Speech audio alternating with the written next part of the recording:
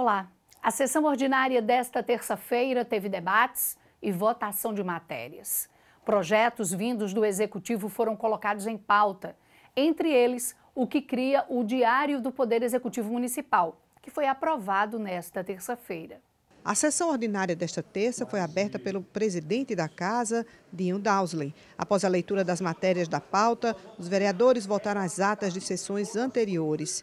Em seguida, o presidente da Casa pediu aos parlamentares que colocassem duas matérias extra-pauta em votação.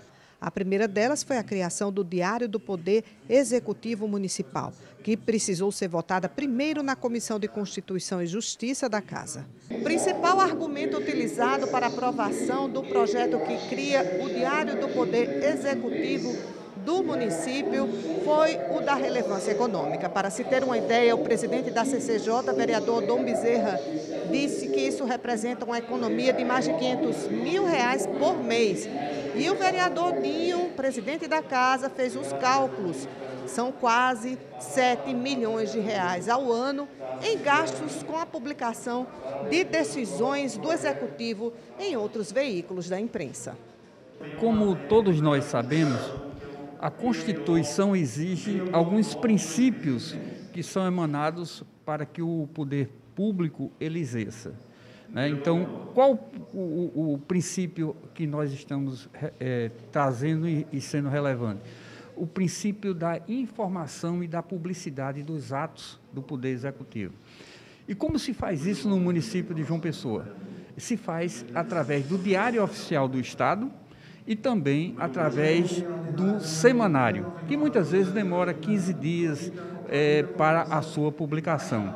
Com a criação desse diário oficial do município de João Pessoa, o município não vai precisar mais pagar ao Estado para publicação do, de seus atos frente a, a, a, ao Poder Executivo Estadual. Ou seja, eram enviadas matérias para o Diário Oficial do Estado e o Estado cobra por isso. Agora não com a criação desse diário oficial, o próprio município de João Pessoa vai ter o seu diário oficial. A outra matéria extra-pauta foi a PLO 911, que usa recursos do BID para relocação e reassentamento do complexo da Beira Rio.